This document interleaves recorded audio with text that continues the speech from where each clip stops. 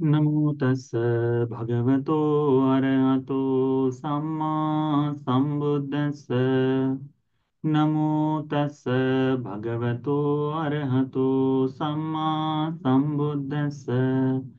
नमो तस् भगवतो अरहतो सम्मा साधु साधु साधु।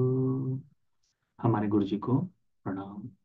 साधु साधु साधु। श्रद्धावान उपासक उपासिकागण हम लोग। इस धर्म चर्चा में या फिर इस इस कार्यक्रम में हर हफ़्ते मस्जिद निकाय में से एक सूत्र का अभ्यास करते हैं। अब तक हमने पिछले सप्ताह सल्लेख सूत्र का उपदेश दिया। सल्लेख का मतलब आप लोग को समझ में आ गया होगा। सल्लेख ये बहुत ही विशाल, विशिष्ट परंपरा है। जिसमें त्यागने का भाव आता है। सर्वस्व त्यागना जिसे कहते हैं तो उसमें से वो सल्लेख नाम निकलता है, ठीक है? तो आज हम चर्चा करेंगे ये सारा धर्म का आरंभ जिस कार्य से है, इस संपूर्ण धर्म का निर्धारण भगवान ने जिससे मुख, जिसका आरंभिक कहा गया है, उसके लिए कहेंगे। इस सूत्र का नाम है सम्मा दिट्ठी सूत्र मध्यम निकाय का नौवा सूत्र है। समझने में थोड़ा सा कठिन भी है परंतु जितना जितना समझ सकते हैं उतना हम लोग समझने की कोशिश करेंगे। धर्म का अभ्यास पुनः पुनः बार बार सुनने के पश्चात और पुख्ता होते जाता है। इसीलिए आने वाले समय में भी इसी सूत्र पर अनेक भिक्षु लोग भिन्न भिन्न तरह से उपदेश कर सकते हैं। परंतु इस सूत्र में जितना जैसे जैसे बताया है केवल उतना उत, उतना समझने की हम लोग कोशिश करेंगे। ठीक है? इस सूत्र का नाम है सम्मादिट्ठी सूत्र। भगवान ने धर्म में जितनी भी चीज़ें हैं सब में बताया कि संसार से मुक्ति का एकमेव मार्ग है, और वो मार्ग है हरियो अट्ठांगिको मग्गो। भगवान बुद्ध जी एकमेव ऐसे जगत में ऐसे व्यक्ति हैं, या फिर धर्म के उपदेशक हैं, या दृष्टा है, गुरु है, जिनका आरंभ जिस शब्द से शुरू हुआ, उनका समापन, उनका जो मृत्यु तक का भाग है वो उसी धर्म के देशना था। उनमें परिपक्वता बुद्धत्व के साथ साथ आ गई थी। अब उसमें अंतर नहीं आना था। वर्तमान में जितने भी लोग हैं धर्म का उपदेश करने वाले हो या फिर आ, किसी बात को अपने मतावलंबी हो अलग अलग मत को रखने वाले हो या फिर ऐसा हो सकता है कि भिन्न भिन्न तरह के जो फिलोसोफर जिन्हें कहते हैं ये लोग हो ये सब लोग अपनी बुद्धि को बढ़ाते हुए, इनके विचार निरंतर बदलते रहते हैं। हम जिनकी शरण में गए, उन भगवान बुद्ध जी का विचार कभी नहीं बदलता। जैसा यथार्थ भगवान ने उनको बोध हुआ है, वह संपूर्ण 45 वर्षों तक जाता है। हम मनुष्य की तरह नहीं, हम आज के वर्तमान के लोगों की तरह नहीं। कि जैसे हम लोग जब बिल्कुल युवा अवस्था में आते हैं तो सोचते हैं कि मैं अपनी ज़िंदगी को इस तरह से बनाऊँगा, ऐसा इसका धर्म का, ऐसा करूँगा, वैसा करूँगा। जैसे जैसे मैच्योरिटी होते जाती है, पैंतीस का होने के बाद जो पहले वादा किया था, वो सब भूल कर अब मैं ये करूँगा, अब मेरी जीत, मेरी स्थिति ऐसी है, ये मेरे विचार है, इस तरह से। जब पचपन का हो जाता है, तब कहता है कि नहीं नहीं, वो तो सब ऐसा ही था, तब तो मैंने मूर्ता में कह दिया, पर अब मैं इस तरह से करूँगा, अब ये मेरे विचार इस तरह से देखना चाहिए। जब सत्तर साल का हो जाए तो कहते हैं कि अरे, सब ऐसा ही था। वो तो बस समय समय के साथ वो बदलते रहता हम मनुष्यों का स्वभाव ऐसा है। पूर्ण व्यक्ति जो है, उनका ऐसा नहीं होता। पूर्ण व्यक्ति वह है जिनका धर्म का आरंभ जिस तरह से हुआ, जिस विचारधारा से हुआ, वो अंतिम तक होती है। भगवान बुद्ध जी की है। इसके पीछे कारण है, जिस मार्ग पर चलकर निर्वाण को पाए हैं, वो मार्ग एक ही है। एक ही दिशा से संसार से मुक्त हुआ जा सकता है। दूसरा अन्य मार्ग मुक्ति के लिए नहीं है। यदि आप में से कोई ऐसा चाहे कि अरे, भगवान से भी सुंदर उपदेश करने वाले या फिर भगवान की वाणी की तरह ही आज वर्तमान में कहने वाले लोग हैं, साधु सन्यासी हैं, या फिर भिन्न भिन्न तरह के उपक्रम बताकर इस मुक्ति को पाया जा सकता है तो ऐसा कुछ नहीं है। इस बात को अपने मन में अच्छी तरह से धारण कर दो।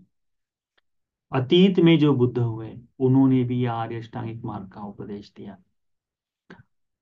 हमारे जो भगवान बुद्ध, जिनकी शरण में हम गए वर्तमान में, वे भगवान बुद्ध जी भी इसी का उपदेश देते हैं।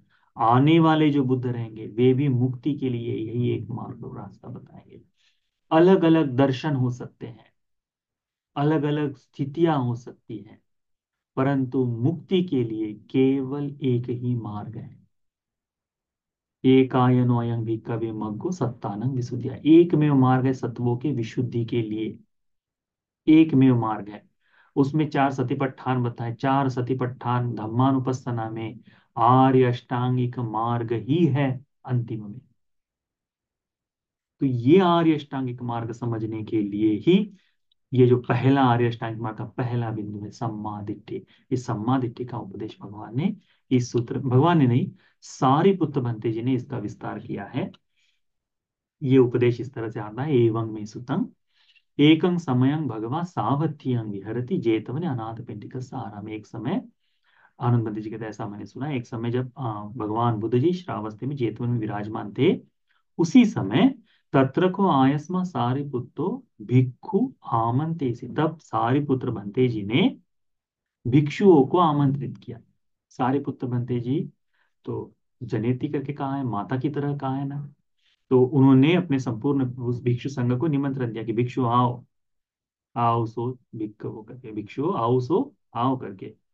तो उन्होंने जवाब दिया, जी आओ सो करके सारे पुत्र बंते जी को जवाब दिया। तो ये पूरा सूत्र किसने उपदेश किया है? सारी पुत्र बंते जी ने भिक्षु संघ को बताया है। आयस्मा सारी पुत्र आयुष्मान सारी पुत्र बन इस तरह से कहते हैं भिक्षु को कहते कहते हैं सम्मादिट्ठी सम्मादिट्ठी थी आउसो उच्चती भिक्षु ये सम्मादिट्ठी सम्मादिट्ठी कही जाती है कितावतानुको आउसो आर्य को सम्मादिट्ठी होती। कैसे कोई आर्य श्रावक सम्यक दिट्ठिवान बनता है? ये जो सम्मादिट्ठी सम्मादिट्ठी कही जा रही है तो ये सम्मादिट्ठी क्या है? ठीक है? उसके बाद में पूछते हैं कि कितना बतानुखो उसो आर्य श्रावक को सम्मादिट्ठी होती, आर्य श्रावक सम्यक दृष्टिवान बनता है उजुगत दिट्ठी। इस दृष्टि से रुजु भाव से आरूढ़ हो गया। संपन्न हो गया ऐसा कौन है? धम में अवेच्च प्रसाद संबंध तो जो धर्म के प्रति अचल श्रद्धा से बन गया है, अब उसमें परिवर्तन नहीं आएगा। अब उसमें कोई, वो स्थिर हो गया है, अचल हो गया है। वो बिल्कुल एक जगह पर प्रतिष्ठित हो गया, वैसा इंद्रकील की तरह आ गया, ऐसा समझो। उसमें अभी परिवर्तन नहीं होना। तो धम में अविच्य प्रसाद समझना तो आगतो इमंग सद्धम इस धर्म में आया हुआ व्यक्ति कैसे कहलाता है करके ये प्रश्न कौन पूछते हैं? तो सारी पुत्र बनते जी पूछते हैं, भिक्षु से पूछते हैं। तो भिक्षु लोग क्या कहते हैं कि बनते, बहुत दूर से हम सारी पुत्र बनते जी के लिए पास आए हैं। आप जो कह रहे हैं क्या दूर तो पिको मयंग उसो, आगच्छेयाम। दूर से हम भगवान सारी पुत्र बनते जी के पास आए हैं। एतस भसितस तुम इस जो भाषण जिसका जो आप जो कह रहे इसका अर्थ जानने के लिए। अच्छा होगा यदि बनते स्वयं ही सारी पुत्र बनते स्वयं ही इसका अर्थ हमें समझाएँगे। तब सारे पुत्र बनते जी कहते हैं सुत्वा भिक्षु धारे संति भिक्षु, मैं कहूँगा, तुम लोग आप जब, वो भिक्षु कहते हैं कि जैसे बनते सारी मंत्री जी बताएँगे, तब हमसे वैसे धारण कर लेंगे।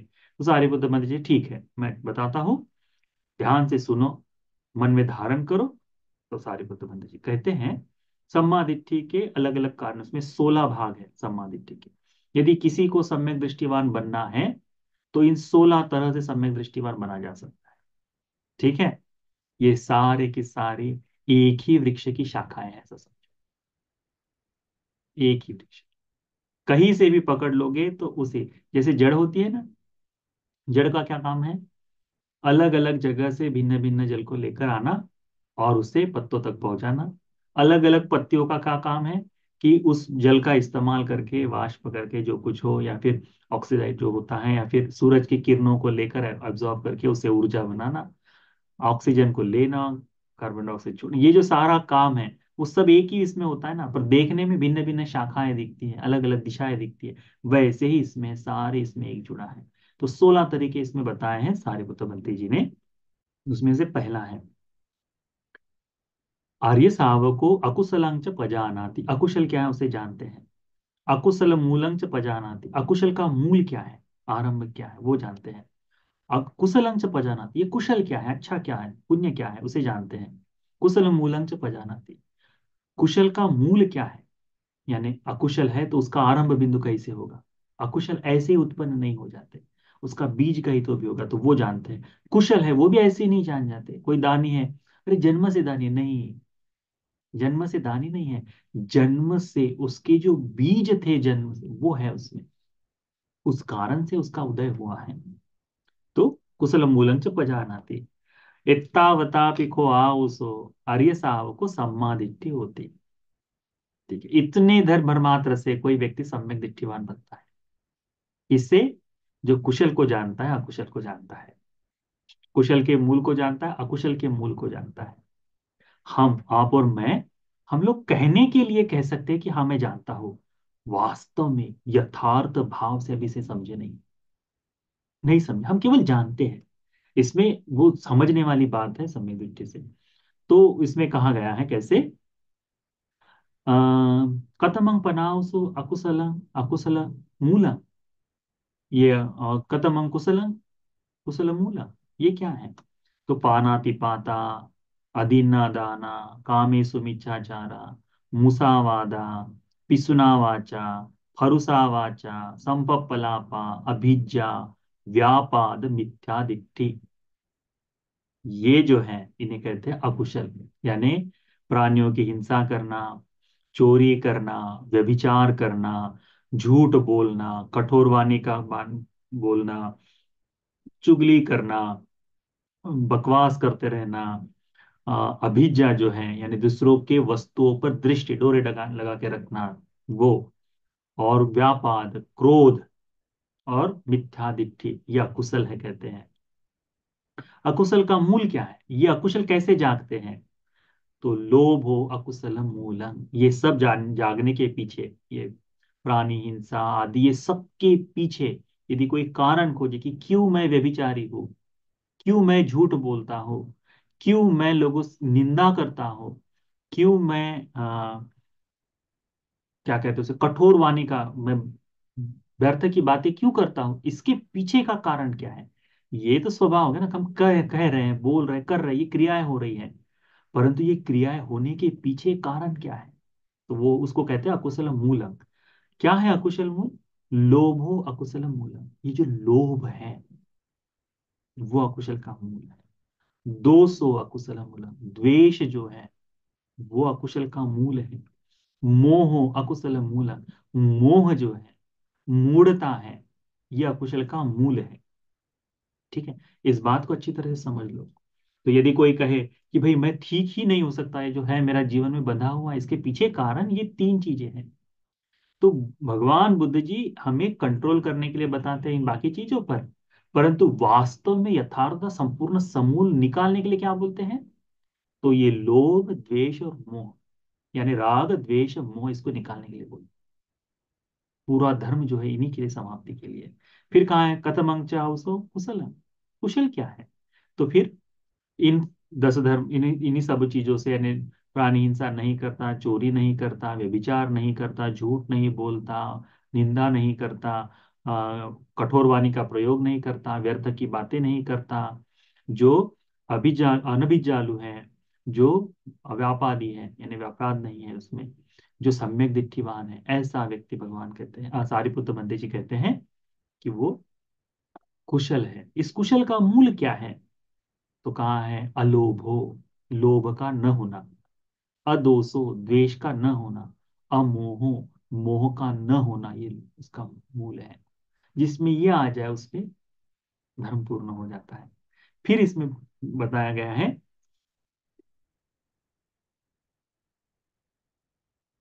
जब आयुष्मान, ये आर्य श्रावक, ये कौन जानता है? तो आर्य श्रावक जानता है। क्या जानता है? तो क्या आर्य श्रावक जानता है कि इस तरह से जानता है कि अकुशलं पजानाति अकुशलम मूलं च पजाना मूलं पजानाति कुशलं पजानाति कुशलम मूलं पजानाति। इस तरह से ये अकुशल है, ये अकुशल का मूल है, ये कुशल है, ये कुशल का मूल इस तरह से जानता है।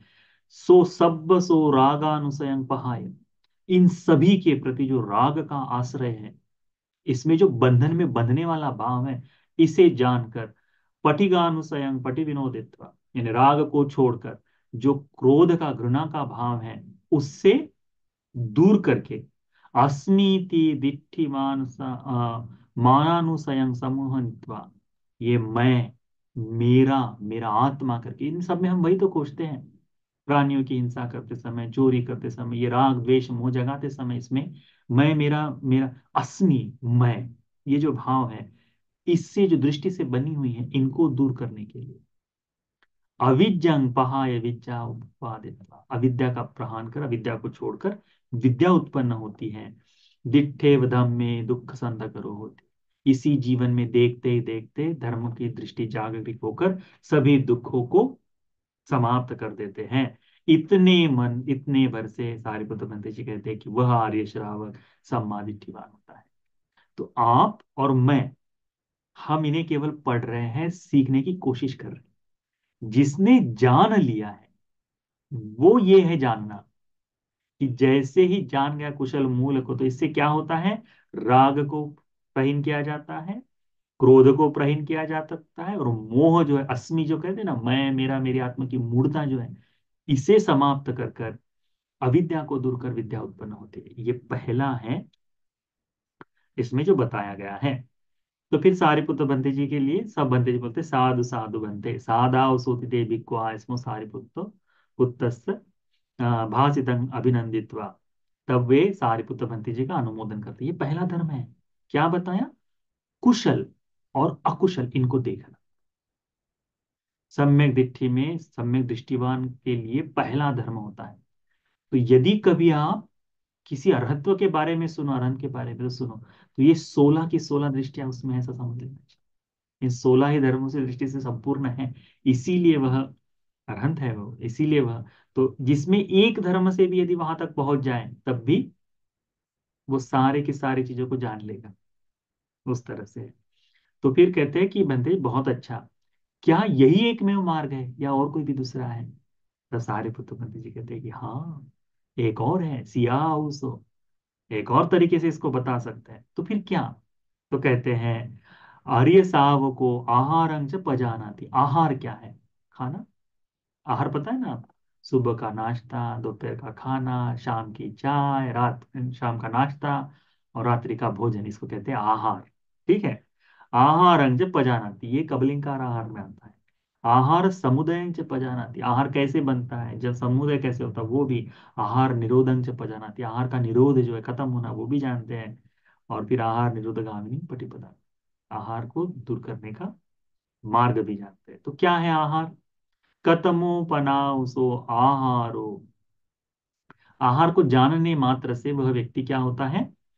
सम्मादिष्टि से युक्त हो जाता है। ठीक है? फिर सारी पुत्र बंदी जी कहते हैं कि ये, फिर इसमें कहा गया है क्या कि आहार को जानने से तो ये आहार क्या है? कतमोपनाउसो आहारो, ये आहार क्या है? भगवान सारी पुत्र बंदी जी कहते हैं, चत्तारो में आउसो आहारा भूतानंग वा सत्तानंग ठितिया संभवेशीनं व अनुग्रहाय। हम जो खाना खा रहे हैं, ये कितने प्रकार का है? चार प्रकार का। किस लिए है ये? भूतानंग इस सत्व के स्थिरता के लिए। ये जो मनुष्य बना हुआ है जिन जिन सत्व है इस लोक में, निरय के सत्व से लेकर तो कर्णटक ब्रह्मलोक के सत्व तक या फिर उससे भी आगे भी सत्व होंगे, इन सभी सत्वों के लिए आहार चार ही प्रकार का है। ठीक है? ये मत समझना कि भाई निरय में है तो वहाँ बाबिक्यू तो वैसे ही बन रहा होगा करके, ऐसा नहीं। जो भी तरह का आहार है, वो है। ब्रह्मलोक में है तो वहाँ शीतलता होगी तो वहाँ नहीं मिलेगा, ऐसा नहीं। सभी जगह पर जो आहार है, वो इतनी चार तरह का है, इसको ध्यान में रखो। क्या कहा है कि सत्तानंग है, सत्वों के स्थिरता के लिए, उससे मनुष्य, उससे सत्व जो है, वो बना रहता है। इसलिए भूतानंग का है, जितने भी जीवित व्यक्ति उनके स्थिति के लिए, संभवेशी अनुग्रहाय। संभवेशी का मतलब होता है जो अभी उत्पन्न होंगे, उत्पन्न हो रहे हैं। हुए नहीं, हो रहे हैं, यानी हम मृत्यु के बाद भी जब आगे भी जाएँगे, उसके लिए सहायक भी कौन होंगे? ये चार आहार। समझ गए? तो केवल इस शरीर को बनाए रखने के लिए नहीं, अपितु इससे आगे जाने के लिए भी ये चार आहार है। कैसे? कौन से है ये चार आहार? पहला है कबली, कारो, आहारो। ओलारिको वा सुखुमो वा ये जो ग्रास ग्रास कौर बनाकर खाते हैं ना एक एक कौर खाते हैं, रोटी को तोड़ते हैं, सब्ज़ी में मिलाते हैं और ऐसा कवल पकड़ते हैं ना, कौर कहते हैं उसे या कवल कहते हैं, और उसे खाते हैं। इसको कहते हैं कबली का आहार। कैसे? ओलारिको व सुखुमोवा गीला है सूखा है जैसा भी है, भौतिक स्वरूप से पकड़कर खाया जाने वाला आहार। ठीक है? तो उसमें डम्पलिंग्स आ गए हैं, यानी फिर मोमोज जो कहते हैं, वो भी वो भी वैसी है उसमें बना हुआ है तो कौर कौर करके जितना भी है चावल में जो भी मिलाकर खाओ, मिलाकर खा लिए, वो एक एक ग्रास करके खाते हैं। वो चम्मच से भी यदि खाओगे, तब भी एक एक ग्रास करके खा रहे हैं। पीने वाले द्रव्य में भी खाओगे तुम, तब भी घोट घोट करके ही पियोगे। ऐसा नहीं कि जारी लगा दे और सीधा सीधा छन्नी लगा कर खा, नहीं, उसको भी एक एक करके ही खाया जाता है। इसीलिए उसे कहा क्या है, ओलारिको व सुखुमो जैसा भी आहार हो, गीला हो, सूखा हो, सब कौल बनाकर एक एक ग्रास कर कर खाया जाता है। तो ये पहला आहार है। तो जितना भी वेज खाओ, वेज नॉन वेज खाओ नॉन वेज घास फूस खानी है तो वो भी खा लो जीव जंतु खाने हैं तो वो भी खा लो, क्योंकि भूत कहाँ है इसमें? भूत यानी सत्व, सभी सत्वों के लिए आहार समान है। सभी सत्वों के लिए आहार समान है। ठीक है, उसके बाद में कहा है? ये पहला आहार हो गया जो ग्रास बनाकर खाते हैं। दूसरा आहार है फस्सो स्पर्श। स्पर्श का आहार दूसरा है। ठीक है? कैसे? ये जो आँख दिख रही है, इस आँख का, इस रूप से स्पर्श हो रहा है। जैसे भी मैं तो कैमरे के सामने बैठा हूँ। मुझे टीवी में जो कुछ दिख रहा होगा, कंप्यूटर स्क्रीन में दिख रहा है। आप भी मुझे वहाँ से देख ही रहे हैं, पर क्या देख रहे हैं? इस शरीर को ही देख रहे हैं ना वहाँ से भी। तो ये देखते समय, ये देखते समय आँख का स्पर्श ही हो रहा है। इस स्पर्श से पहचान हो रही, जाना जा रहा है, देखा जा रहा है, इसे कहते हैं ये जो स्पर्श का आहार। इसे क्या कहते हैं? स्पर्श का आहार। फस, आँख, कान से सुना जा रहा है, नासिका से गंध सुगंध ली जा रही है, जिह्वा से चखा जा रहा है, इस शरीर से स्पर्श किया जा रहा है। जितनी भी सेंशुअल चीज़ें हैं, वो सारी है। वही इसको आहार का स्पर्श का आहार कहा है। वो स्पर्श का आहार। तो जितनी भी ये कामुकता से भोगी जाने वाली चीज़ें, उनको भी हम क्या कहते हैं? वो स्पर्श में तो आती है। वो स्पर्श के आहार में आती है। उसके बाद में तीसरा है मनो संचेतना मन में जागने वाली हर एक चिंतन की चेतना जो है, जितने जितने प्रकार से सोचेगा, वो वो उसका स्पर्श है। दस मिनट के लिए, जैसे ध्यान में बैठ जाओ, तुम्हारे सांस पर ध्यान देने के लिए बोलो। तुरंत मन में जो जो नहीं सोचे थे, वो सारे ख्याल नहीं आना शुरू हो जाता। आना शुरू हो जाता। मन क्षण भर के लिए भी चिंतन से परे नहीं जाना चाहता। क्यों? क्योंकि इसी से सत्व जीवित रहता है। सोच, चिंतन, मन, मनोसंचेतना। ये आहार है, मनोसंचेतना। विक्षिप्त अवस्था में भी विक्षिप्त अवस्था का चिंतन ही हो रहा है, ऐसा समझ लो। तभी वो है। चौथा है, विज्ञान चतुर्थं। विज्ञान ये चौथा आहार है। विज्ञान क्या है? तो संस्कार के द्वारा उत्पत्ति के लिए, जो आगे के विचार के लिए होने वाला बीज जो है, उसे कहते हैं विज्ञान। आगे के जन्म के लिए होने वाला जो बीज है, उसे कहते हैं विज्ञान। तो विज्ञान के यहाँ से तो जब कहते हैं ना कि मनुष्य लोग में मरने के बाद क्या आगे जाता है? तो विज्ञान ही आगे जाता है। ये विज्ञान सब कुछ साथ में लेके जाता है, कर्म, सुख, दुख आदि सबके कर्म। क्योंकि उसी के परिविपाक से बना ऐसा है। ये चार प्रकार का विज्ञान है। इसमें इसका आहार क्या है? इसमें तो इस, इसका समुदाय कैसे होता है? ये कैसे बनता है? तो फिर कहा है? तन्हा समुदाय। तन्हा के कारण ही ये बनता है। ये जो भोजन जितना भी है, तृष्णा के सहारे ही है। तृष्णा के सहारे ही है। है ना? पर कल का ही तो प्रश्न है हमारा। मेकअप के बारे में हमने बातचीत जो की है, तृष्णा के सहारे ही है। इसमें गलत नहीं है। तो वो जो है, वो है। हम आँखों की सुंदरता के लिए, आँखों को अच्छा देखने के लिए, अपने आप को अच्छा देखने के लिए ही हम सौंदर्य चीज़ें इस्तेमाल करते, चाहे पुरुष हो, चाहे स्त्री हो। वो है आहार। तृष्णा के कारण ही आहार पैदा होता है। तन्ना समुदाय, आहार समुदाय, तन्ना निरोध, आहार, तन्ना के निरोध होने से, तन्ना के खत्म हो जाने से ये भी खत्म हो जाएगा। तो हमारा काम ये नहीं कि उसको दूर करे, हमारा काम है तृष्णा को दूर करे। तृष्णा को दूर करने का एक ही रास्ता है, क्या है? अरियो, अट्ठांगिको मग्गो इस पूरे सूत्र में आर्य अष्टांगिक मार्ग के अलावा कुछ नहीं बताया है। तो अपने मन में, मस्तिष्क में, मानस पटल में, दृष्टि के सामने, हृदय में, सांस में यही बात बिठा दो, फिट कर दो। कौन सी? यदि सुख पाना है, मुक्त होना है, जन्म मरण के फेरे से बाहर पड़ना है तो क्या है? आर्य अष्टांगिक मार्ग। इस लोक में दूसरा कोई मार्ग नहीं, क्योंकि आने वाले समय में ये संपूर्ण भारत में बताया जाएगा और बीच में हुआ भी था ये, उसी कारण से धर्म का नाश हुआ था भारत से। और वो यही था कि नहीं, आर्य अष्टांगिक मार्ग के अलावा भी कोई दूसरे रास्ते हैं जिनका पालन किया जा सकता है। जिसमें अलग अलग योग बताए, जो आठ प्रकार के योग जो बताए जाते हैं, ये भी मुक्ति के लिए ही है है ना? तो वो नहीं है, एक ही मार्ग है मुक्ति का और वो है आर्य अष्टांगिक मार्ग। इसी आर्य अष्टांगिक मार्ग के कारण ही बुद्ध शासन में किसी भी प्रकार की मिथ्या नहीं देखी जा सकती। इसी मार्ग के कारण, जब तक ये मार्ग है, जब तक ये मार्ग आपको सुनने को आता है, अभ्यास में करने के लिए मिलता है, जब जब भिक्षु कहेगा कि आर्य अष्टांगिक मार्ग मुक्ति का मार्ग है, तब तक समझना कि बुद्ध शासन आज जीवित है। जिस दिन ये खत्म कर दे, उस दिन समझ लेना कि वहाँ बुद्ध का शब्द भी नहीं है। इसीलिए ये आर्य अष्टांगिक मार्ग महायान में नहीं आता।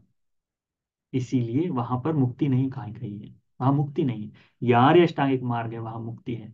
आ, भगवान ने एक सूत्र में कहा है कि भिक्षु भगवान बुद्ध जी ने कहा है कि भिक्षु इस संपूर्ण विश्व में जितने धर्म है या फिर जहाँ भी तुमको ये आर्य अष्टांगिक मार्ग मिलेगा वही तुमको मुक्ति मिलेगी। ये आर्य अष्टांगिक मार्ग जही जहाँ भी मिलेगा तुम्हें वही तुमको चत्तारी एतानी पूरी अट्ठ चत्तारी एतानी पूरी सयुगानी अट्ठपुरी पुगला देखने को मिलेगा। दूसरा कहीं नहीं, दूसरा कहीं नहीं मिलेगा। तो उसको ध्यान में रखो। तो ये हो गया आहार के संबंध, ठीक है? फिर कहते हैं कि जब ये आहार के बारे में कोई व्यक्ति अच्छी तरह से जान जाता है, जैसे भी हम बता रहे तो आहार के बारे में जान गए, समझो। जैसे ही अच्छी तरह से जान जाए, इसका कारण क्या होता है? इससे क्या होता? आहार के कारण जो राग जो है, द्वेष जो है, मोह है, ये मूल को समझने में सहायता मिल जाती है। तो हम कितने आहार पर चिंतन कर सकते हैं? फिगर मेंटेन करने के लिए एक आहार को देख सकते हैं, ठीक है? दूसरा आहार नहीं।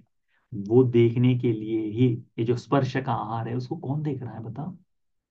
नहीं समझ रहे हम। स्पर्श का आहार नहीं समझ सकते। मनोसंचेतना का आहार? ये मन में जो चिंतन जाग रहा है, इसका आहार कैसे समझ में आ रहा है? नहीं समझ में आ रहा है। विज्ञान के बारे में तो केवल कह सकते हैं हाँ विज्ञान ही है, बस उतना ही। ये समझ नहीं आता। पर आर्य श्रावक जब इसे जान जाता है, समझ जाता है तो क्या होता है? राग, द्वेष, मोह को दूर करता है, उसका अस्मिमान खत्म हो जाता है, अविद्या समाप्त हो जाती है, विद्या उत्पन्न हो जाती है। इसी जीवन में सभी दुखों से मुक्त होकर अरहत होकर निवास करता है। ऐसे व्यक्ति को सारे पुत्र बंते जी कहते हैं कि वो सम्मा दिट्ठी से युक्त है। सम्मा दिट्ठी से युक्त होकर, सम्मा दिट्ठी में रुजु मार्ग में आ गया है, धर्म को अच्छे से देख लिया है, धर्म में आया हुआ व्यक्ति कहते हैं। तो भिक्षु लोग कहते साधु बनते फिर कहते हैं कि बनते क्या हुए? केवल यही एक मार्ग है और कोई नहीं। तो कहते हैं सिया उसो हाँ उसो है। आयुष्मान है और और मार्ग है तो क्या? ये तो को आओ आर्य साव को दुखंच पजानाती। जब कोई दुख को जान जाता है अब इसमें से यहाँ से लेकर आगे जितनी चीज़ें आएगी वो क्या है? वो आर, आ, आ, पटिच्च समुत्पाद में आने वाले एक एक धर्म है। तो उसको देखते हैं ठीक है? क्या कहते हैं कि आर्य सावको दुखं च पजानाति। दुख क्या है जानता है? दुख समुदय च पजानाति। दुख समुदाय क्या है जानता है? दुख निरोधं च पजानाति। दुख निरोध क्या है जानता है? दुख निरोध गामिनी पटिपदं च पजानाति। दुख निरोध गामिनी प्रतिपदा क्या है? इसको जानता है। इनको जानने से, समझने से मात्र वह भिक्षु श्रोता बनने करके कहा समाधिष्टि में हम सीखते हैं ना? कत, वो सम्मा दिट्ठी सम्मा वाचा, सम्मा का मंत्र। वहाँ से शुरू होती है नहीं सम्मा दिट्ठी सम्मा संकल्प, सम्मा दिट्ठी सम्मा संकल्प, सम्मा वाचा। तो ये जो सम्यक दिट्ठी उसमें क्या सिखाया जाता है? चत्तारो, सर, ये चार जो दृष्टि है दुख दुख निरोध दुख निरोध गामिनी पटिपद, वही। तो ये बताया इसमें। इतने भर से तो फिर ये जान फिर उसका पूरा विस्तार किए, दुख आर्य सत्य क्या है? तो फिर जाति पे दुखा, जरा पे दुखा, व्याधि पे दुख करके वो है। उसके बाद में कहा है कि इसका कारण क्या है? समुदाय क्या है? तो कहते हैं कि ये जो तृष्णा है इन चार आर्य सत्य को बनाने के लिए जो तृष्णा है, कौन सी? या संसार में बने रहने के लिए जो तृष्णा है, वो है, क्या है? तन्ना पोनो भविका, ये जो तृष्णा है, जो पुनर्भव के लिए काम करती है। नंदी राग सहगता, उसमें नंदी राग बना हुआ है। रट लगी हुई है, रट लगी हुई है सर्कुलर में घूम रहा है, उसमें रट लगी हुई तत्र तत्राभिनंदिनी, जहाँ जहाँ जाएगी, वहाँ वहाँ सुख भोगती है करके, वहाँ वहाँ आनंद लेती है। वहाँ वहाँ आनंद लेती है। देखो ना, हम पिछले जन्मों में जानवर की योनि में थे। वहाँ भी जिए मस्त जीवन। वहाँ आनंद लिए। अपना बच्चा, अपना पेट, अपनी सुरक्षा, अपना घर, उसके लिए दौड़ धूप किए। पंछी थे, पंछी केस में भी, वहाँ पे भी दिन भर खाने के इसमें गए, पंछी से बचने के लिए धूप प्यास से बचने के लिए कोशिश की आनंद ही लिए हैं। निरय में थे हम लोग, निरय में भी उसका आनंद ही लिए हैं। कहते गए, अरे, नहीं चाहिए नहीं चाहिए नहीं चाहिए। पर फिर भी वहाँ जीने के लिए आनंद ही लेते गए। मनुष्य लोक में आए। अभी कौन सा कुछ बदल गया इसके अलावा? जन्म ले रहे, खा रहे, पी रहे, सुख से जी रहे, मर जाएँगे। दिव्यलोक में भी जन्म ले कुशल करते हुए। वहाँ पे भी क्या करेंगे? वहाँ पर भी उसका आनंद ही लेंगे। पर कहते समय हर बार क्या कहेंगे? दुख नहीं चाहिए। अब हो गया, बहुत दुख भोग लिया। अब बहुत दुख भोग लिया, बहुत दुख भोग लिया। कहते रहेंगे, दुख भोग लिया, परंतु दुख का भोगना खत्म नहीं होगा। उसको कहा है? उसके बाद में उसे कहा है? तत्र तत्र अभिनंदिनी करके कहा है? तो ये क्या है जो आनंद लेती? काम तन्ना भोगने की तृष्णा, काम की तृष्णा। भव तन्ना इस संसार में बने रहने की इच्छा। विभव तन्ना संसार से विच्छेद की तृष्णा। ये विभव तन्ना का मतलब ये मत समझ लेना कि भाई मुक्ति की चाह करना भी विभव तन्ना तो ये तो विभव तन्ना हो गई। नहीं, अभी है, अभी वो कह सकते हो। परंतु उच्छेद व तिरस्कार से आने वाला विभव नहीं है। निबिदा से आने वाला, वैराग्य से जागने वाला अनिरोध जो, उसके बारे में। उसको ध्यान में रखो। ठीक है? तो ये है, इसको दूर करने का मार्ग क्या है? तो इसको दूर करने का मार्ग कैसे है? इसका दुख निरोध क्या है? तो ये जो तृष्णा है, इस तृष्णा का अशेष विराग निरोधो। इस तृष्णा को धीरे धीरे कर कर खत्म कर देना। चागो त्याग देना पटे निसर्गो इस्तेमाल से पूर्णतः बाहर निकाल लेना मुक्ति, इससे मुक्ति हो जाना, अनालयो, इससे जो चिपका है उसको छोड़ देना। ठीक है? ये कहते दुख निरोध। दुख निरोध गामिनी पटिपदा क्या है? आर्य अष्टांगिक मार्ग। है फिर कहते हैं कि जब कोई आर्य श्रावक सारिपुत्र बंदी जी कहते हैं कि जब कोई आर्य श्रावक इसको जान जाता है तो क्या करता है? वह सो सब सो रागानुसयम पहाय। सभी राग के अनुसार अनुसय जो लिप, लिप, लिपटी हुई बातें हैं उनको दूर कर देता है। पटिगानुसयम पटी विनोदित्वा ये जो क्रोध की भाव है, उसको पूर्णता खत्म कर देता है। अस्मित दिठान दिट्ठी मानसानुय मानुसा दिट्ठी मानानुसयम दृष्टि का जो बना हुआ है कि मैं, ये जो है मैं, पूरे दुनिया में चले जाओ, सभी फिलोसॉफी में चले जाओ, ये मैं कहीं नहीं छूटता। इस मैं के बाहर निकलने के लिए ही बुद्ध का धर्म है। कहीं पे भी चले जाओ, देखो ना आज तक विश्व में यही कहते रहे हम लोग कि इस आत्मा का पर ब्रह्म में विलीन हो जाना। वहाँ विलीन होने के बाद जन्म नहीं होगा, कहते तो हैं, परंतु किसका कहते हैं? इस आत्मा का। वहाँ पे जन्म, यानी वहाँ पे तुम्हारी आत्मा का अस्तित्व है। ये अस्तित्व के लिए जो कहा गया है ना, वो है अस्मी। मैं, मेरा, मेरी आत्मा करके, इसलिए बुद्ध ने कहा आत्मा नहीं। तो इसमें ये अस्तित्व का प्रश्न ही खत्म हो गया। ठीक है? तो उसको तब कहते हैं कि वो भिक्षु जब इनको दूर कर देता है तब इसी जीवन में धर्म को जानकर वो सम्मा दृष्टि से युक्त हो जाता है उसकी रिजि दृष्टि हो जाती है धर्म में आया हुआ अचल श्रद्धा से युक्त कहा जाता है और इस धर्म में धर्मवान में भिक्षु इस श्रोतापन सकदागामी अनागामी इस फलों में प्रतिष्ठित समझा जाता है।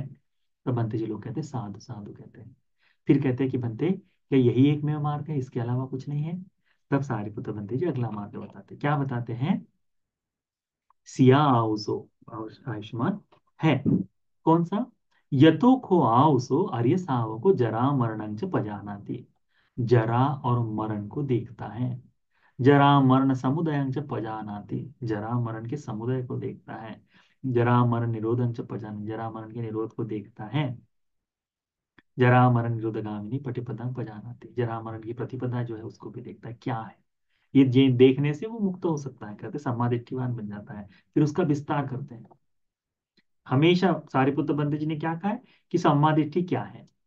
फिर सम्यक दृष्टि कैसे आती है? है ना? और इसे दृष्टिवान कैसे कहा जाता है? ये तीन चीज़ें हैं, ठीक है? तो पहला है कि इसको जान जाना सम्यक दृष्टि है। इनको जान जाना सम्यक दृष्टि है। दूसरा है कि इनको क्या जानना, कैसे जानती है? तो उसको बताया है कि जरा मरण समुदय जरामरण जरामरण समुदय, जरामरण निरोध जरामरण निरोधगामिनी पटिपद ये क्या है? उसका विस्तार क्या? और इसके बाद कहा कि इसके जान लेने से व्यक्ति में क्या परिवर्तन आता है? तो क्या कहा है कि उसका राग खत्म होता है, द्वेष खत्म होता है, मोह खत्म होता है तो क्या होता है वह? धर्म में आया हुआ व्यक्ति कहा जाता है। तीनों तरह से। तो प्रश्न क्या है? यानी क्वेश्चन क्या है या फिर आ, समस्या क्या है? समस्या का कारण क्या है? समस्या का कारण का निदान उसका निदान क्या है? और निदान का फल क्या है? तीनों चारों चीज़ें इसमें बताई गई है। तो कैसे? कहते हैं ये जरा मरण क्या है? यानी तो कहते हैं या ते संग ते संग सत्तानं तम्मी तम्मी सत्त निकाय। जरा जीर्णता खंडिचंग पालिचंग वलित चता आयुनो संहानि इंद्रियानं परिपाको अयंग उच्चता सो जरा इतने सुंदर शब्द हैं। इस बात को हमेशा रखना। जितनी भी बातें जरा मरण के संबंध में, जाति, जरा, व्याधि, मरण के बारे में कही है, उसमें कहा गया है, या तेसंग तेसंग सत्तानंग, उन उन सत्वों का। यानी विश्व में जितने भी सत्व है, दृश्य, अदृश्य सुपीरियर इंफीरियर जो भी है बड़े छोटे सभी के लिए उन उन सत्वों का उन उन सत्वों के योनि में उन उनके क्रम से। जैसे मनुष्य में हम बूढ़ा होते हैं तो हमारे पूरे ये बाकी आ जाते हैं ना सफ़ेद बाल आ जाते हैं दांत हिलना शुरू हो जाता है कमर झुक जाती है। ये सारी चीज़ें होती है। हम उनको क्या कहते हैं? चेहरे पे झुर्रिया पड़ जाती है इसमें लिखा है, है? वो आँखों से कम देखना शुरू हो जाता है, ये सारी चीज़ें। ये मनुष्य लोग की जरा है। दिव्य लोग की जरा कैसी है? दिव्य लोग की जरा है कि जिस दिन जरा आती है, उस दिन क्या होता है कि उनके मालाएँ जो है, पुष्प की मालाएँ कुमला जाती है, मुरझा जाती है। उनके शरीर से दुर्गंध आनी शुरू हो जाती है, क्योंकि पुण्य का संस्कार खत्म हो गया, जिससे सुगंध आए, वो खत्म हो गया तो वो आ जाती है। उसका जो उसका जो प्रसन्न प्रसन्न भाव है, उसकी आभा जो है, कम हो जाती है। तो उसको देखकर सब देवता लोग कहते कि दिव्य पुत्र तुम्हारी आयु यहाँ से खत्म हो गई। अभी एक दिवस जीवन बचा है, एक ही दिन बचा है तुमने तुम्हारे पास। इसके बाद तुम मर जाओगे। फिर सब के सब देवता लोग उसके पास आते और कहते कि देखो, दिव्य लोक में जन्म लेना है तो यहाँ से मरकर जब जाओगे मनुष्य लोक में या जहाँ जाओगे, वहाँ पुण्य का संचय करो, कुशल धर्म को करो, उनके साथ बह मत जाना। पुण्य करके यहाँ वापस आओ करके हम जो कहते हैं ना, अगली बार वापस आना, अगली बार आओ करके, घर में वापस आओ करके वैसे ही ये लोग देवता लोग करके भेज देते हैं। एक बार चला गया, सब भूल जाता है कि हाँ उसके पास जाना भी था वादा वादा करके सब भूल जाते हैं कि नहीं, वैसा ही होता है इसमें। तो देवताओं का, आयु का उस तरह से। तो इसमें क्या कहा गया है? मैं जो कह रहा हूँ, समझ में आ रहा है? ठीक। इसमें कहा है एक एक शब्द का अर्थ समझो। क्या कहा है? या तेसंग तेसंग सत्ताना। उन उन सत्वों का तम्मी तम्मी सत्व निकाय में, उस उस जीवनी में, उस उस जीवन में जरा बूढ़ा होना, जीर्णता। हम कहते जीर्ण यानी जरा जर्जर हो गया है, कहते हैं जीर्ण हो गया, कहते हैं पुरानी वस्तु होते ही, है ना? नोट फटना शुरू हो जाता है, जीर्ण हो गई कहते हैं नोट, है ना? कहते हैं मराठी में उसका जीर्ण ही कहा गया है उसको। तो जीर्णता, खंडित चंग टूट जाना, टूट जा, खंडित चंग। तो देखो दांत टूट जाते हैं बाल झड़ जाते हैं। ये क्या है? खंडित चंग है। एक एक इसका टूट गया है वह। पाल चंग, झर में झुर्रियाँ पड़ गई हैं, टूट, बिखर गया है, वलित चता दृष्टि से देखने में कुरूपता आ गई, है ना? यानी परिपक्व परिपक्व विपाक जैसा हो गया तो समझो। आयु नो संहानी आयुष्य घट जाता है उसके बाद। बूढ़ा होने के बाद आयु अधिक नहीं रहती ना? बूढ़ा होने के बाद पता चल जाता है, आप तो बूढ़ा हो गए, जर्जरता आ गई है। अभी तो मरना तय है करके समझते हैं। अभी जवानी में बड़ा अहंकार रहता है कि मैं तो कभी नहीं मरने वाला। सबको मार के मर, सब मार जाएँगे मैं नहीं मरूँगा करके रहता है। ये जैसे आ जाते हैं उसके बाद पता चलता है कि तो मरने वाले हैं आज ना कल। उसके बाद संहा आयु नो संहानी आयु का खत्म हो जाना। इंद्रियान परिपाको। आँखों से दिखना कम हो जाता है कान से सुनना कम हो जाता है नासिका से गंध सुगंध लेना कम हो जाता है जीवा से चकना कम हो जाता है, शरीर से स्पर्श कम हो जाता है। मन के विचार का तो उसमें नहीं अधिकता सोचना चाहिए, परंतु ये चीज़ें हैं इसमें। ठीक है तो ये क्या है? हमारे से होती है, बूढ़े लोगों को पूछो। नमक, मिर्च उतनी नहीं समझ में आती जैसे हमें चटपटा पसंद है तीसा तीखा, तेज, रस लेकर खाते हैं, वो बूढ़े आदमी को पूछो, उसको उतना नहीं समझ में आएगा।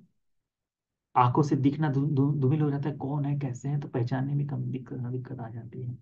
कानों से सुनना कम हो जाता है, होता है कि नहीं? इसी को कहते हैं इंद्रियानम परिपाक। तो आयु इंद्रिय जो है, वह भी घट जाता है, ऐसा समझो। इसको कहते हैं जरा। फिर कहते मरणं क्या है? तो या तेसंग तेसंग सत्तानंग तम्ही तम्ही सत्य निकाय। उन उन सत्वों का, उन उन सत्व निकायों में च्युति, च्युत हो जाना। ठीक है? यानी जिस स्थिति में है, वहाँ से खत्म हो जाना। उसको कहते च्युत हो जाना। चवनता नष्ट हो गया। भेदो, बिखर जाना, भग्न हो जाना। अंतर्धान, गायब हो जाना।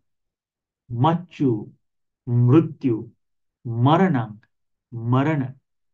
काल क्रिया कालन क्रिया यानी काल क्रिया हो गई। खंदानंग भेदो, ये जो स्कंद बने हैं कौन कौन से स्कंद है? तो ये शरीर में जो स्कंद बने हैं, सारे कंपोनेंट जितने भी एक एक टुकड़े हैं, ये सब बिखर गए हैं। आँख नहीं बची, कान नहीं बचा, ये सारे जो स्कंद है, ये खत्म हो गए हैं। शरीर में जो जो बचा है सारा का सारा, गर्मी है, ठंड, ये सब खत्म हो गए हैं। वो कलेवरस निक्षेपो इस शरीर की संपूर्ण अवस्था को पार कर कर पूर्णत्व में खत्म हो गया है। जीवित इंद्रिय सुख पचेदो। ये जीवित इंद्रिय जो कहते हैं जीवित इंद्रिय जो कहते हैं जन्म जीवन जन, जीवन जीवंत जीवित है इसकी जो इंद्रिय कहते हैं वो खत्म हो गई छेद हो गया। इसे कहते हैं मरण। इसमें केवल मनुष्य लोग के लिए नहीं कहा अंतर्धान अंतर्धान हो गया। कहाँ से अंतर्धान होता है? तो निरय से अंतर्धान होता है, प्रेत लोग से अंतर होता है, दिव्य लोग से अंतर्धान हो जाता है है ना? मर गया। उस तरह से कहा गया तो ये मरण है। इन सब का इनका समुदाय कैसे है? कैसे बनता है? तो कहते हैं जाति समुदय जन्म के कारण ही ये जरा मरण है। इसके बगैर नहीं हो सकते। जन्म है, इसीलिए जरा मरण। क्या कहते जाति समुदया जरा मरण समुदय। जन्म के कारण ही जरा मरण होता है। जाति निरोधा, जन्म खत्म हो गया तो जरा मरण निरोध जरा मरण नहीं आएगा। तो हमारे सारे ही समस्याओं की जड़ क्या है? जन्म लेना है। फिर भी आज भी देखो, जन्म के बारे में कहे कि पुनर्जन्म नहीं चाहिए, कैसे होगा? चाहिए चाहिए चाहिए। कहीं ना कहीं हम देखो ना, अपने नाम के पीछे कितना जुड़ा रहते हैं। पता है कि नाम नहीं चलता। ढाई हज़ार वर्षों पहले दान देने वाले लोग कहाँ किसी का नाम है? एक व्यक्ति का नाम है। परंतु हम बुद्ध विहार में पंखा दान दे रहे हैं। उस पंखे के पत्ती पर अपना नाम लिखा होना चाहिए, घर का एड्रेस, फ़ोन नंबर और दसियों जगह होनी चाहिए। क्यों? क्योंकि मेरा नाम। तुमने देखा है बुद्ध विहार में ऐसे पता नहीं कैसे दिखाई देते हैं। मैं भी था उस दृष्टि से, पर जब से देख लिया कि ये सब धर्म में ऐसा है तो उसका छोड़ ही दो फिर। अब क्या लिखवा लेना? आज है, कल को नहीं रहेंगे। ऐसा है। उसके बाद में फिर तुम दरवाजों पे जो दरवाज़ा दान देता है, उसमें देखो, लोहे की ग्रिल तो लगी, उसमें अपने नाम किसी ना किसी तरह से बनवाने के लिए बोलते हैं। नाम बनवा दो मेरा, मैंने दान दिया, तारीख के साथ डालो। कि आने वाली जनता भी देखे करे, कोई आवश्यकता नहीं। पूरे बुद्ध विहार में दीवारें जो दो तीन तरह से रंगी हुई होती है। इस आदमी ने पाँच हज़ार रुपए दिए, इसने सौ रुपए दिए, इसने पचास हज़ार, इसने एक लाख, डेढ़ लाख। और क्या होता है, इनके मरने के बाद उनके जो बेटे बेटियाँ मैंने आज तक जो देखा है उसके बारे में बता इनके बेटे बेटियाँ वर्ष में एक बार, दो वर्ष में एक बार आएँगे कहेंगे, ये बुद्ध विहार मेरे पिताजी का बनाया गया वहाँ पे नाम लिखा है कि उन्होंने पाँच सौ रुपये दिए थे करके। इस तरह से। क्या है जन्म के लिए, ये जो बना, बने रहने की जो दृष्टि है, बने रहने का भाव है, उसका है। तो आप लोग सज्जनों से विशेषता है कि अभी इनको छोटी छोटी चीज़ों को छोड़ दो। जब नाम होना है तो पुण्य के साथ तो विज्ञान के साथ तो हम सब लेके ही जा रहे ना। अपना लेके चलते हैं। देना ही है तुम्हारे बेटों बेटियों को, याद करवाना है तो क्या कराओ? उनको याद कराओ कि देखो, पुण्य करो। मैंने पुण्य किया, तुम भी पुण्य करो। वो कर सकते हो पर वो नहीं होता तो उसके लिए कोशिश करो। तो ये जो है जाति, पच्चया, जरा, मरण, जन्म के कारण ही जरा मरण है।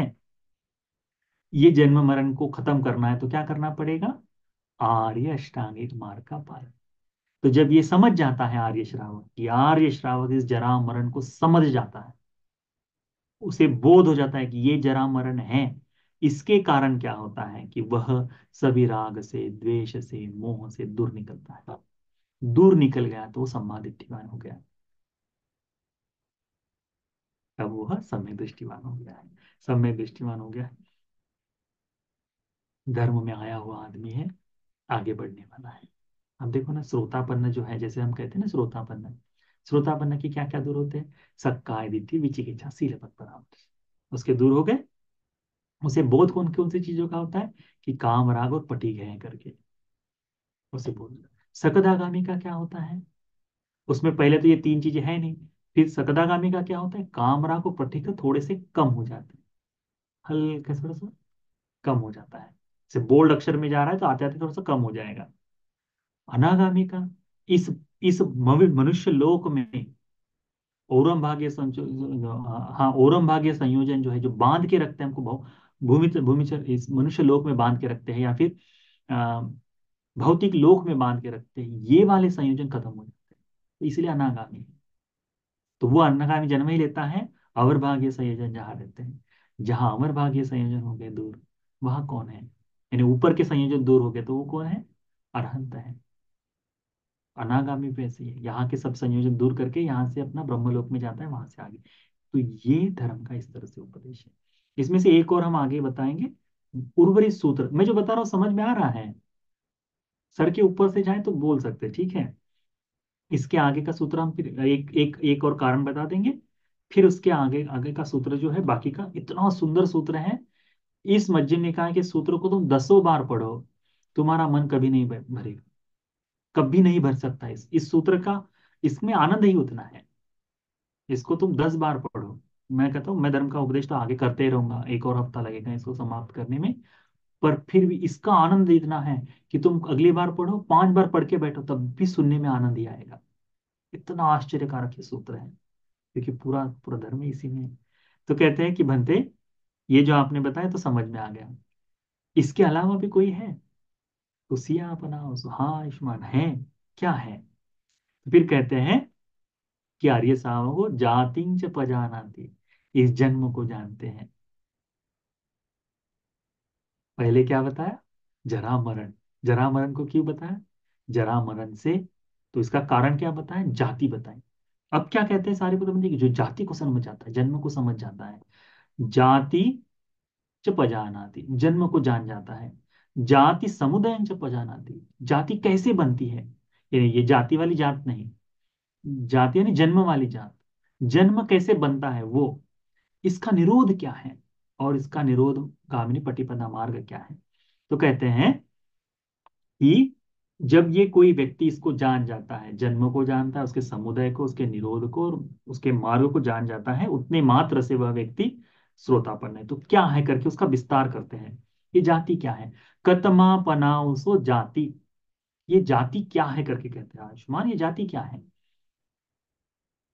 कहते हैं, या तेसंग तेसंग सत्तानंग। इसका मतलब क्या हुआ? उन उन सत्वों का। तम ही तम ही सत्व निकाय। उन उन सात्व निकायों में, उन उन योनियों में। जाति, जन्म होना।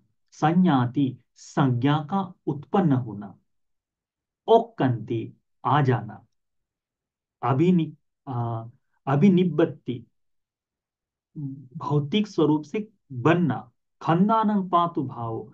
ये जो आयतन जो है, स्कंद जो है, इनका इकट्ठा हो जाना।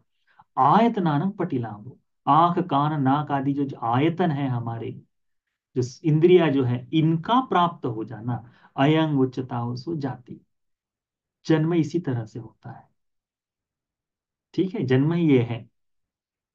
तो चाहे मनुष्य लोक में हो, चाहे निरय में हो, चाहे ब्रह्मलोक में, दिव्य लोक में हो। इसी तरह से जन्म को हम एक विस्तारित कर सकते हैं। इसके अलावा और क्या बताओ तो वो गर्भ से जन्म लेने वाला भी तो जन्म के अलग अलग चार अलग अलग पद्धतियाँ हैं, वो ठीक है। उनमें भी यही चीज़ें होती हैं। चार जन्म की पद्धतियाँ आपको पता है ना? पता है? कौन कौन सी है? एक है जलाभुज। जलाभुज का मतलब जल में या फिर गर्भ में।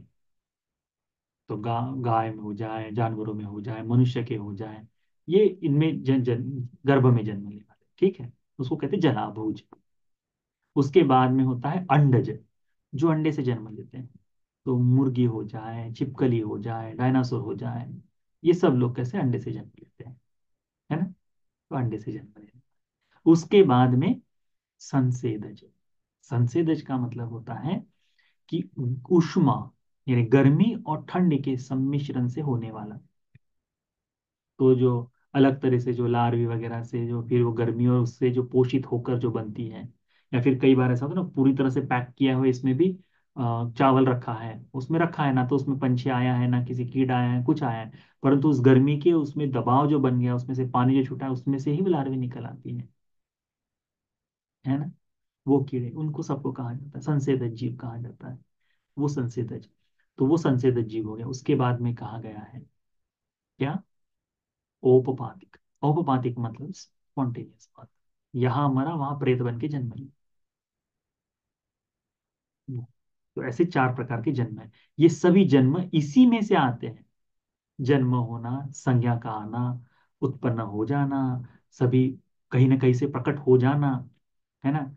स्कंदों का उत्पन्न होना अपने आँख कान नाक चशकों का मिलना, इसे कहते हैं जन्म। ये जन्म है। तो जन्म कैसे होता है? किंग बच्चा जन्म है करके तो उसमें कहा है, भव समुदया, जाति समुदय। भव के होने के कारण, भव जो है, उसके होने के कारण ये जाति है। भव निरोधा जाति निरोध। भव जहाँ खत्म हो जाएगा, वहाँ जाति खत्म हो जाएगी। इसको खत्म करने का मार्ग क्या है? आर्य अष्टांगिक मार्ग है। यही एक में मार्ग है। कहते हैं सारिपुत्र बंते जी कि जब कोई श्रावक इसे इस तरह से देखता है, जानता है तो क्या होता है कि वह उसके प्रति जो राग, द्वेष, मोह है उसको दूर करता है। दूर करने के बाद वो वही जान जाता है।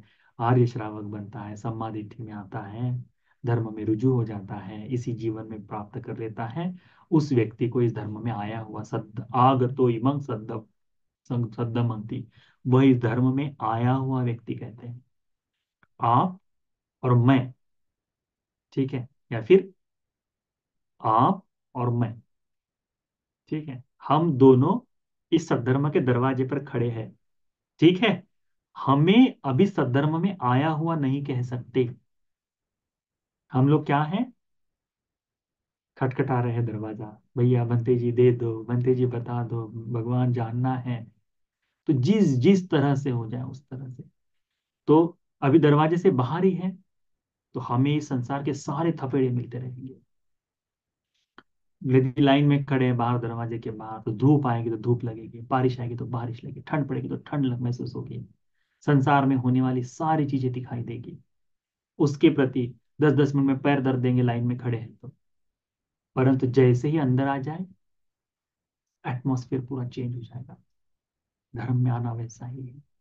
इसीलिए कहते हैं कि अधिक से अधिक सात जन्म है, आठवां जन्म नहीं, उस व्यक्ति के लिए जो श्रोतापन जो दरवाजे के अंदर आ गया, उसके लिए ऐसा तकलीफ़ क्या हो सकती है? अभी बाहर से धूप, आदि सब प्यास व्यास खत्म हो गया, अब क्या है कि जो इतना थक के आया तो उसका थकान जो है उतनी भर दूर करनी है उसे बाकी सब खत्म। तो इसको जान लो। तो फिर कहते हैं कि इस तरह से यदि समझ जाए, आर्य मार्ग को समझ जाकर इस मार्ग में आ जाए तो कहते हैं कि वो धर्म में आया हुआ कहते हैं। साधा हैं साधु बनते कहते हैं, क्या बनते ये एक ही मार्ग है? तो कहते हैं, नहीं। और मार्ग है करके। ठीक है? अगले सप्ताह ये भव क्या है, उसको जानेंगे, समझने की कोशिश करेंगे। जिसने भव को जान लिया, भव का कारण जान जाएँगे तो एक एक करके इसमें मार्ग बताए हैं, उसको समझने की कोशिश करेंगे। तो ये सम्मादिट्य का प्रथम भाग, आप सभी को सम्मादिट्य को इस तरह से, अच्छी तरह से जानने के लिए, समझने के लिए, इसके बोध के लिए उपकारी हो जाए साथ